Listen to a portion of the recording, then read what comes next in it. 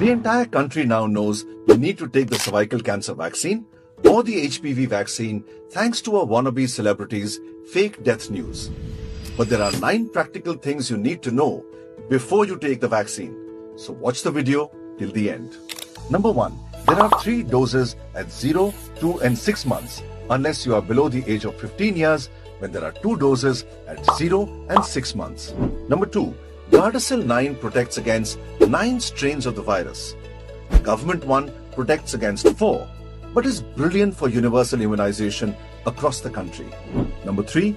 Take the vaccine during your periods so that we are sure that you're not pregnant. However, if you accidentally are pregnant at that time, the vaccine won't really harm your baby as it is not a live vaccine.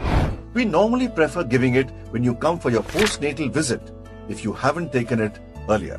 Number 4. Give it to both your daughters and sons aged 9 years and above. Number 5. If you haven't taken it yet and are less than 45 years of age, you can still take it and probably benefit from it too.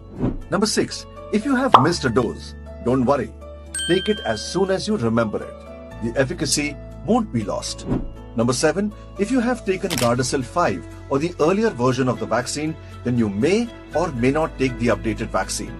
Guidelines say you don't really need to, but yes, the updated vaccine will protect against 9 instead of the 5 virus strains.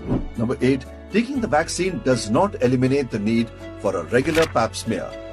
Do get them done every 2 to 3 years without fail. And lastly, number 9. Remember the protection is not just against cervical cancer, but against many other cancers including oral cancer. Let's vaccinate, let's fight cancer, and let's spread awareness. Share this reel with someone who you think may need it.